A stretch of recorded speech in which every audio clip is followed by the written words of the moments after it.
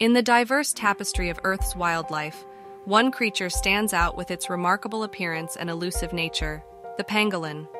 Often referred to as the scaly anteater, this real life Pokemon possesses a host of remarkable features that make it truly one of a kind. These unique mammals are covered in overlapping scales made of keratin, the same material found in human nails. This extraordinary adaptation acts as a suit of armor, protecting them from potential predators. When threatened, pangolins curl up into a tight ball, presenting an impenetrable fortress of scales.